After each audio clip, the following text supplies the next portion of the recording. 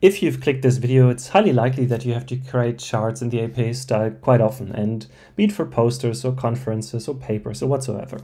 Well, I suspect many of you working with Tidyverse and ggplot2 in RStudio have a specific APA theme or create the theme every time you need to publish an APA styled plot. Well, I think you can make your life a lot easier. And I, in this video, I want to show you how that works. Because RStudio has a very interesting functionality with which you can fire up or set up an APA theme every time you start RStudio or a specific project in RStudio. And I want to show you how. So let's imagine we have this plot, it's just a histogram, and we want to style it in the APA theme every time we load this specific project or RStudio in general? Well, the magic comes with the RProfile file. And to have a look into that file, you can, well, I would just first install that package. It's called the usethis package. So I've installed it already, so I don't have to do it again. And then there it has this function, which is called edit R profile. So let me run that code, let me run that function. And if I open that, I can see that I've already created something here. And so what I did here, there's a function called first, and then I have two uh, library calls. So what I essentially, what I'm essentially telling RStudio here, there's every time you fire up RStudio, every time you load RStudio, these two, two packages are being loaded. So I don't have to do it every time for myself again.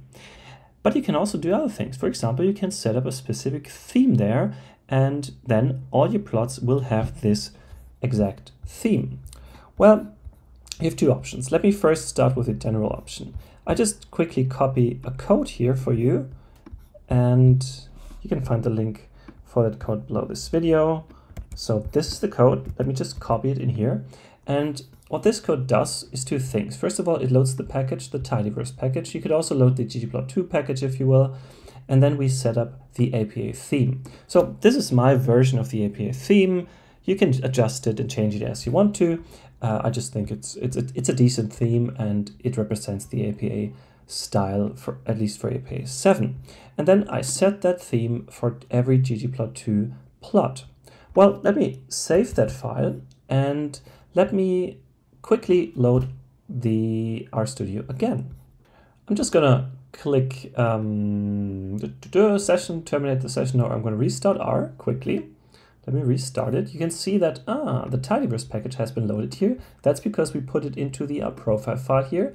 And let's see how our plot will to look like. If I run this code, now this code has the APA styled theme. So it has a white background, the grid lines are gone, and the title of the axis title and the axis text is quite big. Okay, cool, that's interesting. So what I did here, essentially, I created a global theme for every plot, but maybe, maybe I just want to create an APA theme for a specific project in RStudio. I can also do that. So instead of working in the uh, general profile file, I can go to my files in my project and create a new file. I just create a new file here. Um, not an R file, but I'm going to create a new text file and call it R profile. That's it. Save that file, use this R profile file. Now I have it here, and I just copy the same code in here. So let me copy the other code I just had and go back to my original version here. So here I just loaded the tidyverse and the tidymodels package. For now, I'm just going to load the tidyverse package here. And then in my RProfile file, I set the theme. So what's, ha what's happening here is that instead of setting the theme for every plot, every time I load RStudio or start RStudio, I'm going to set the APA theme for a specific project. So it's not it's not tied to that specific. Um, to, it's not it's not happening for every project.